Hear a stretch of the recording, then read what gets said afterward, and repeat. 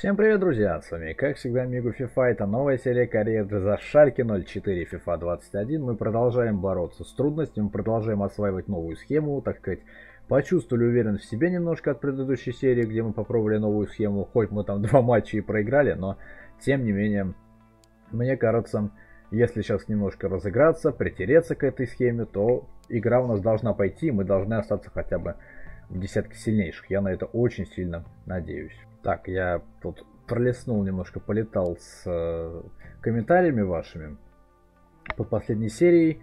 Э, я играю на клаве, составы у меня автоматически обновляются. Версию, наверное, самая последняя, потому что лицензия, поэтому она автоматически обновляется, когда нужно. Но э, какие, по, какую позицию закрыть надо, тут спрашивали. Честно, я пока не знаю. Тут надо много чего закрывать. И это просто сейчас в течение времени, я надеюсь, само всплывет, что нам надо улучшить. И по поводу сборной Англии, я уже даже... Ой, кстати, смотрите, Фе... Лаутара в Баварии, а Федя Смолов в Шеффилде. Вот это интересно. А, но тут у нас было предложение по сборной Англии, я только сейчас вспомнил. Вы сказали, что можно, в принципе, и потренировать сборную Англии, поэтому мы принимаем предложение.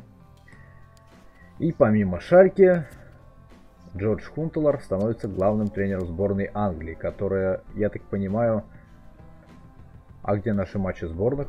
А, нет, нет матч. Вот сейчас будет перерыв на матчи сборных. Это был недельный перерыв между 26 и 27 туром Бундеслиги.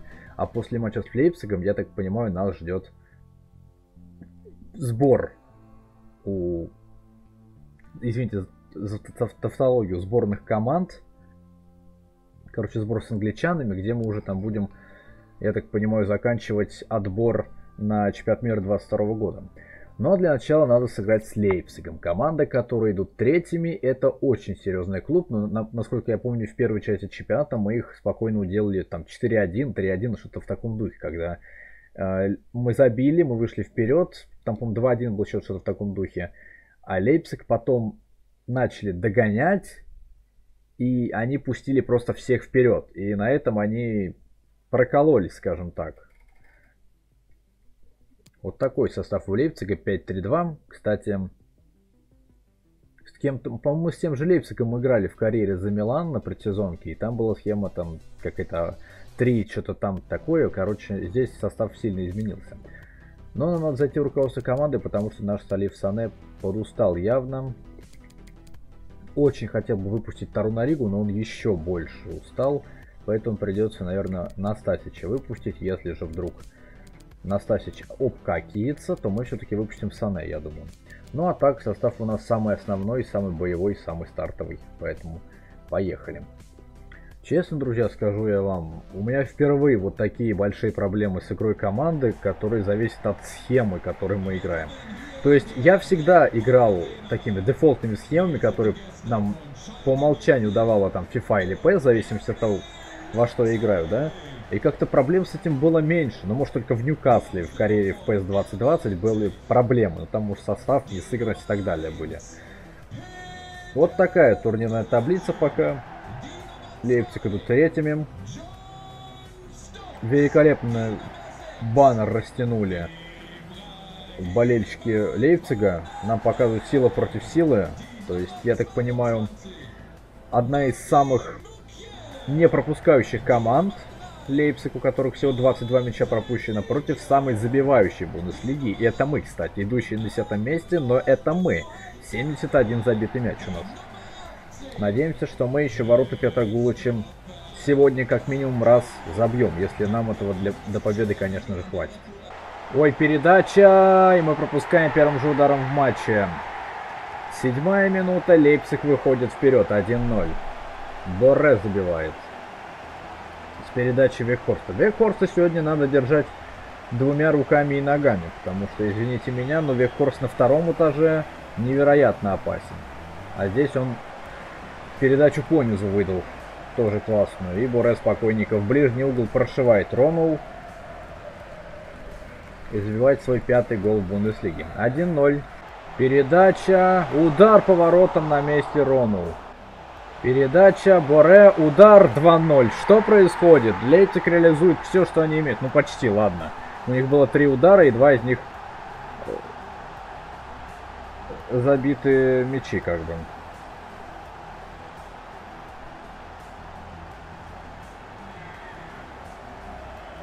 Ну и, конечно, выдвинулся сильно Настасич на Боре. И в итоге в эту свободную зону, в эту огромную дырень переш... пошла передача, и Рафаэль Сантос Боре оформляет дубль за первые полтайма. Векхорст улетает. Ой, кажись, зря я поставил сегодня Настасича. Я, конечно, не скажу, что все мячи это э, при его привоз, но оборона сегодня наша просто кошмар.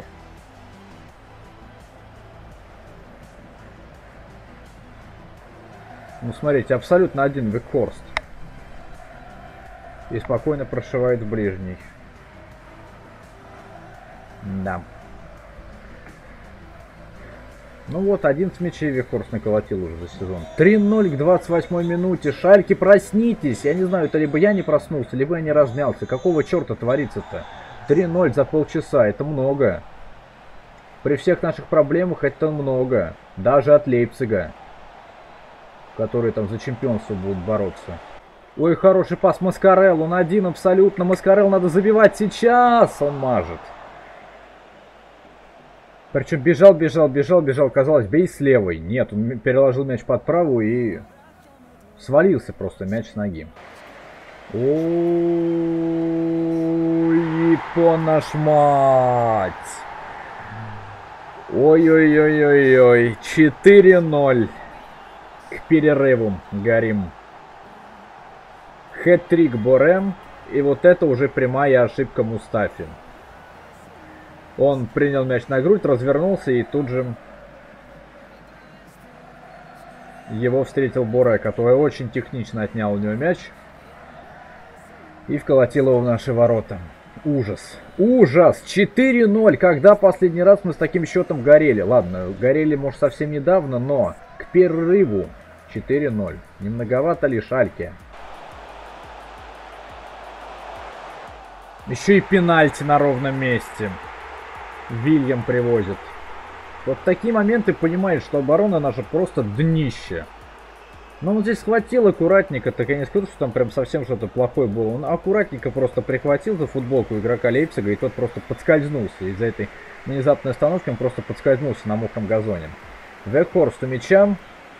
Ну и даже это он забивает. 5-0. Да. Будет очень плохо, если этот матч задаст настроение всей сегодняшней серии. Это будет чертовски плохо. Потому что как мы теперь играть будем? Это сильнейший психологический удар по нам. Но спасибо, у нас впереди, по идее, матчи сборных. Как бы маленький перерыв и знакомство с англичанами. 12 гол Викорста в чемпионате и дам. Это совсем уж безрадостно мы уходим на перерыв сборных. Заброс на Викорста без офсайда. Мустафи где-то очень далеко позади. Это 6-0. Последний раз мы столько от Баварии, по пропускали. 6.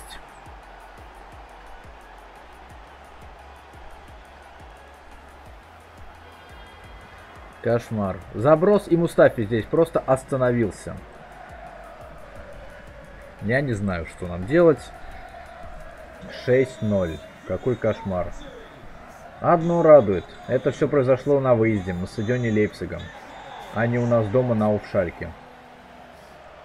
Потому что сейчас же ходят новости, что вот после того, как Шальки вылетели во вторую Бундеслигу, фанаты там чуть ли не в них камнями кидали, еще что-то такое. Короче, игрокам и тренерскому штабу бегством пришлось спасаться. Передача, Хван. И он сегодня забивает, выйдя на замену. 7-0.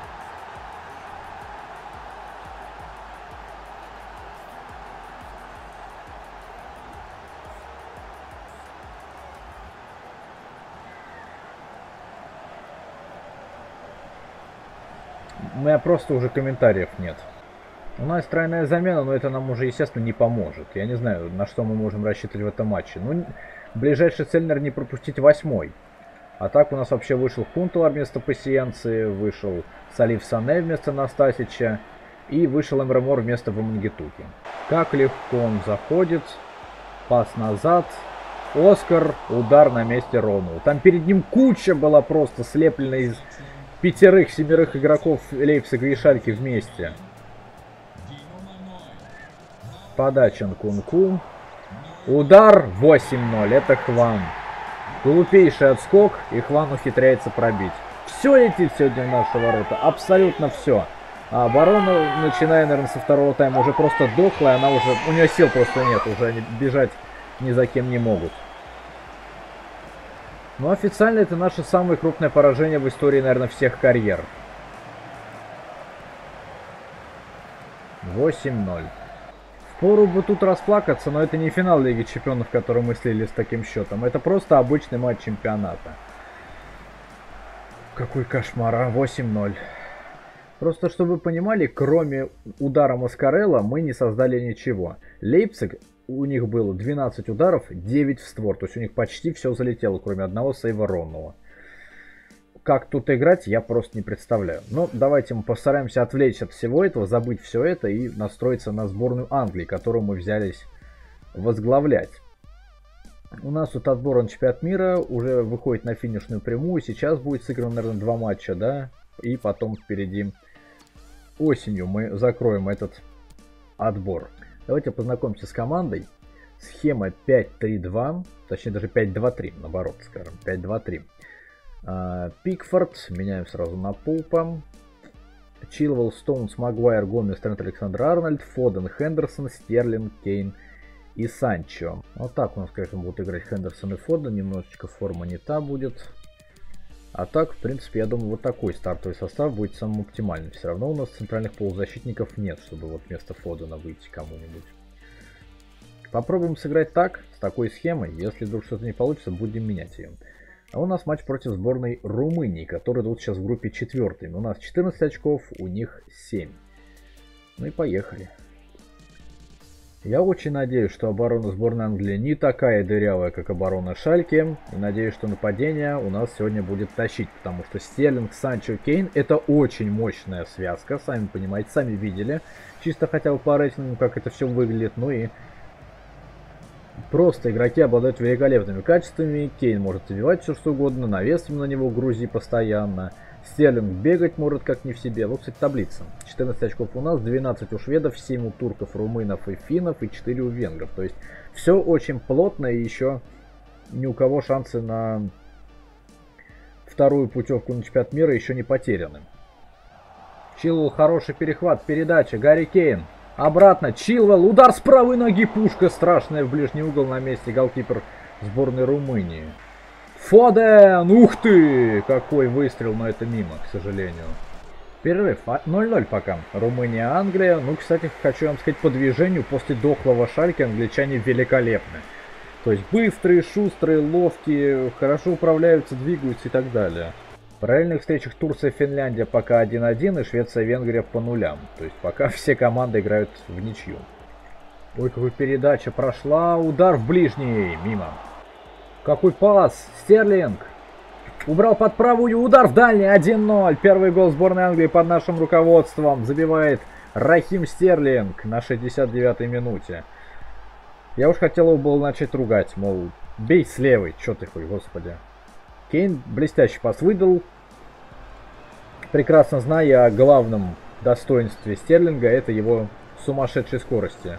Вот здесь его хотел уже начать ругать, думаю, зачем ты переложил мяч под правую, тебя могут сейчас спокойно заблокировать. Но нет, не успели заблокировать этот выстрел и... 0-1, Рахим Стерлинг. Четвертый гол на этой квалификации. Кейн, великолепный разворот, удар в дальний угол на месте голкипера. Ну что, друзья, я вас поздравляю, мы врываемся в очень такой непростой э, период для сборной Англии, непростой в плане того, что надо отбираться на чемпионат мира, и тут идут финальные матчи чемпионата мира. И мы сразу же в первом же матче под нашим руководством обыгрываем сборную Румынии со счетом 1-0. Турция со сборной Финляндии сыграла 2-2, а сборная Венгрии, спасибо им за это, обыграла сборную Швеции 1-0. И вот теперь расклад у нас вот такой.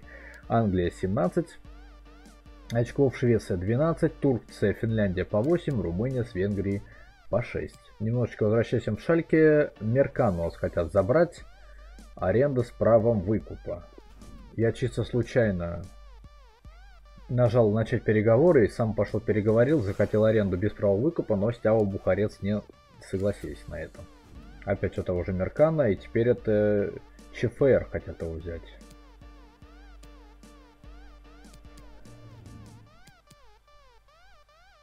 Давайте вот так сделаем, то есть где-то его за 700-800 тысяч продадим. Аренда с права выкупа. Ну и последний матч сегодняшней серии, это будет матч против сборной Финляндии, которые идут сейчас пятыми в отборе. У них тоже схема с пятью центральными защитниками, точнее просто с пятью защитниками, тремя центральными. Но только у них немножко количество нападающих полузащитников изменено. Ну давайте я хочу все-таки состав немножко посмотреть полностью, как бы на прочность и так далее. Поэтому мы сегодня Люка Шоу выпустим. Мы сегодня выпустим э, Вокера, Решфорда. Даже не побоюсь выпустить Джимми Варди сегодня. Так, э, давайте Дайер, что ли, вместо, ну, например, Стоунза. Вместо Фодена Мэдисона. Ну и Давайте Стерлинга все-таки выпустим только на правый фланг. Давайте вот так мы сделаем сегодня. Стерлинг будет бегать справа. У Стерлинга, конечно, микроконтроль это что-то с чем-то. Э, посмотрите, какой сейчас великолепный вид нам показали на Уэмбли. Величайший, легендарнейший Уэмбли. Домашний стадион сборной Англии. Мы еще много будем смотреть матчи на этом стадионе. Англия, Финляндия. Все наши основные игроки, которые играли в прошлой встрече, но не выйдут сегодня, они в запасе. Так что, если вдруг что, они могут выйти и помочь. Но вот, шведы сыграли свой матч, они выиграли, у них 15 очков. Мы имеем право на ошибку спокойно. Даже если мы проиграем, 2 очка запаса у нас еще будет. Поэтому я решил немножко поэкспериментировать составом и посмотреть тех игроков, которых мы не видели в предыдущем матче. Так сказать, посмотреть, на что, в общем, резервы сборной Англии способны. Хороший пас, Джордан Хендерсон. Удар в дальний угол. Ну, получилось где-то по центру. Мяч свалился с ноги и полетел выше ворот. Ой, хороший пас. Стерлинг, удар в дальний на месте Храдецки. Ну вот опять же, вот такие разрезающие передачи на Стерлинга, это будет имбой, по идее. Потому что у Стерлинга просто сумасшедшая скорость. Подача Джордана Хендерсона. Удар головой Эрика Дайера на месте Храдецким. Решфорд врезает в центр. Джейми Варди в одно касание. Ой, мимо. Я просто боялся, что пока он примет мяч, он притормозится и его сзади просто захавают. И передачу. Здорово. Джимми Варди. Варди. Даже вот так! Сумасшедшая атака и на месте Храдецки. Подача Джона Хендерсона. Храдецкий кулаками мяч выносит. Угловой сборной Финляндии. 35-я минута. Подача. Ник Поуп кулаками выносит мяч за лицевую. Стерлинг полетел. Полетел Рахимушка, полетел родной. Там Решфорд на дальней штанге. Решфорд принял мяч, удар! Ух ты, очень здорово, но на месте Хородецкий. Варди здорово потолкался забивать Джейми, но Хородецкий пока не пробиваем. Хорошая подача, Хородецкий кулаками выносит. Дальний выстрел от Мэдисона, это тоже Хородецкий в руки забирает. Хендерсон. Джо Гомес. Ой-ой-ой-ой-ой-ой-ой-ой! Паук на месте, хорош. И сразу пасик во фланг Рахиму Стерлингу. А тот вырезает на Джейми Варди. Джейми принимает. Передача Решфорду 1-0. Не было офсайда у Решфорда. Да. Не, я надеялся, Джейми сейчас сам будет бить. Либо в одно касание, либо здесь он будет бить. Но он решил откатить налево на Решфорда. Ну, у того зато пустые ворота были. Хоть угол был остренький, но перед ним были практически пустые ворота. 1-0, Маркус Решфорд, 65-я минута. И опять у нас мы забиваем гол где-то... Ну, где-то вот после часа игры, скажем так. Стерлинг в центре Варди, пас ему, Джейми. Надо расписываться и ставить точку. 2-0 сборная Англии. Джейми Варди. Голевой передачи записывает и гол. 2-0. Ну слушайте, эта связка даже работает лучше, чем Стерлинг, Кейн и Санчо, да? Потому что эти на троих сообразили два мяча. Те сообразили лишь один. 2-0. Все, победа от уже точно никуда не уйдет. Джейми Варди, второй гол на квалификации и 2-0. Есть убедительная победа на сборной Финляндии со счетом 2-0. Смотрите, Эмиль Блом, в общем, 18 лет, 56 рейтинг, центральный полузащитник, он хочет уйти, потому что как бы он уже слишком взросленький у нас такой. Ну, в принципе, потенциал 80-86 это немножко не то, что надо, поэтому мы спокойно с ним распрощаемся, пусть он уходит в свободное плавание. Ну и, в общем-то, я думаю, на сегодня тогда все. Не забывайте, конечно же, поставить лайк, подписаться на канал, нажать на колокольчик. Посмотрим, что там у нас будет с Шальки, который 8-0 последний матч слили. Надеемся, что мы после этого всего оправимся. С вами был, как всегда, Мигу. Увидимся. Всем до скорого. Всем пока.